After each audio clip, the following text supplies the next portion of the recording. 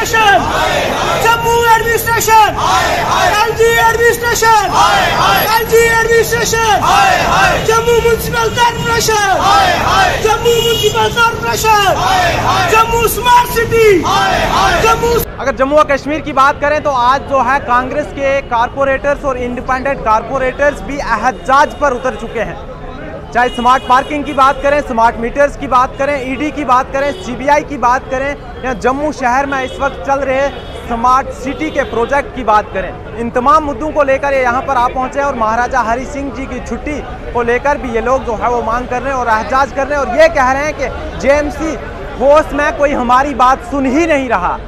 आखिर किस तरह से जम्मू जो है वो स्मार्ट सिटी बनेगी? इन्हीं लोगों से बातचीत करते हैं और जानने की कोशिश करते हैं कि क्यों आज इन्हें मजबूर होकर इस तरह से एहजाज करना पड़ रहा है। तो जम्मू एडमिनिस्ट्रेशन द्वारा बड़े बड़े आश्वासन दिया जा रहे हैं स्मार्ट सिटी जम्मू के और जम्मू की डेवलपमेंट के।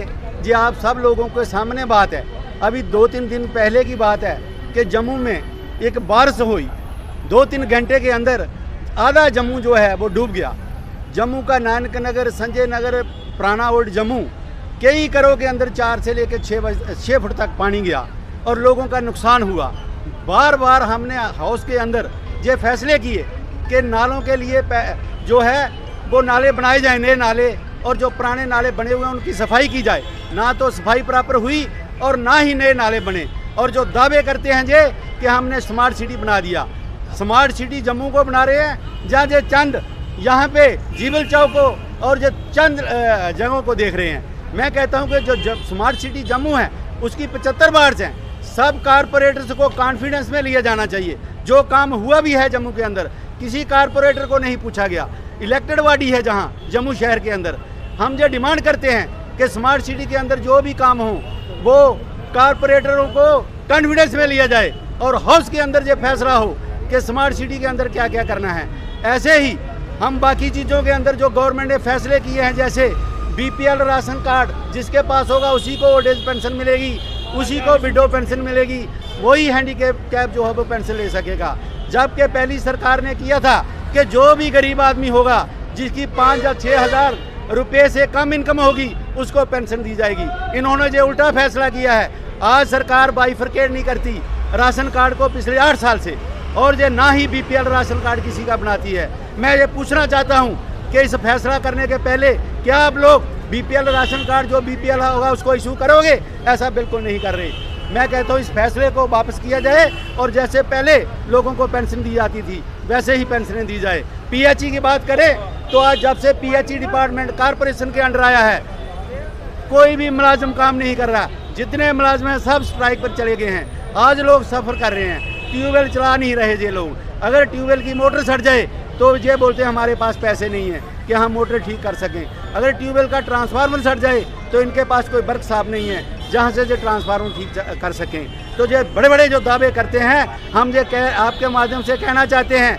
ये खोखले लोग दावे करते हैं कि हम स्मार्ट सिटी जम्मू बना रहे हैं। ये बिल्कुल गलत कहते हैं। आज अगर आप मोहल्लों में हम लोग के साथ चलो जो नुकसान लोगों का हुआ है हम डिमांड करते हैं कि उन लोगों के नुकसान की भरपाई की जाए। उन लोगों को जो नुकसान दिया जाए। जेएमसी होश में आपकी बात नहीं सुनी जाती। जियो जीएमसी हाउस में शुरू से लेकर के इन्होंने कोई टाइम की मीटिंगें नहीं करते। हमारे एक्ट के मुताबिक महीने में एक मीटिंग होनी चाहिए जे छः छः सात सात महीने तक मीटिंगें नहीं करते। अभी भी तीन महीने पहले मीटिंग हुई थी। अभी तक नाम नहीं लिया कि हाउस में मीटिंग की जाएगी। हमने बात कहाँ रखनी है? बात रखते हैं हम लोग हाउस के अंदर। लेकिन ये लोग हाउस की मीटिंग ही नहीं करवाते। हमने जितनी बार मीटिंग हुई है इतनी बार ही प्रोटेस्ट किए।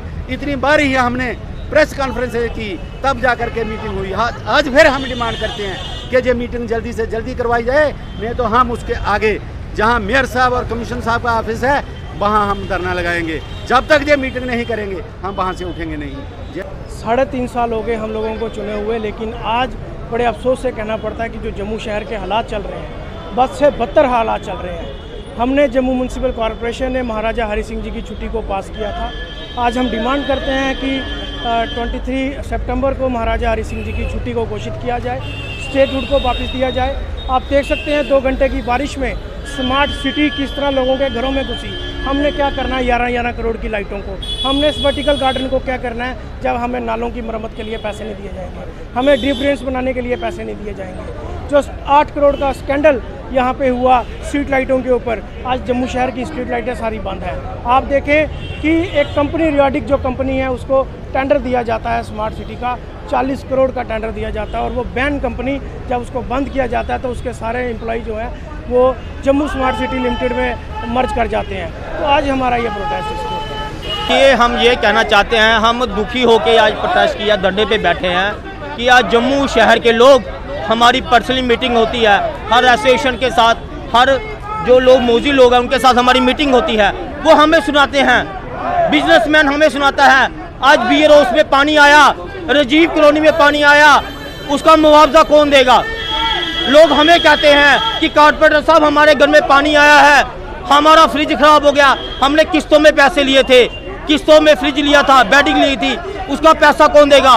जिस दुकानदार के भीड़ उसके दुकान के अंदर लाखों रुपए का अनाज खराब हो गया। ते कौन उसका जिम्मेदार है? कौन जवाबदेही है? गवर्नमेंट मुआवजा दे और जो गरीब बंदा है, जिसका बीपीएल कार्ड नहीं बन रहा जिसको पेंशन नहीं लग रही, नए रूल ला दिए। हैंडल राज लगा दिया उन्होंने जम्मू शहर के अंदर कि स्मार्ट सिटी के नाम पे ये लूटा जा रहा है जम्मू शहर के लोगों को। बहुत ज़्यादा आज हम यहाँ पे धरने पे बैठे हैं। गो बैक एल हमें बाहर का एल नहीं चाहिए। जम्मू शहर का, जम्मू कश्मीर का एलजी चाहिए। जो जम्मू को जाने, जम्मू का दर्द जाने, आम जनता का दर्द जाने, हम वो चाहते हैं लोग।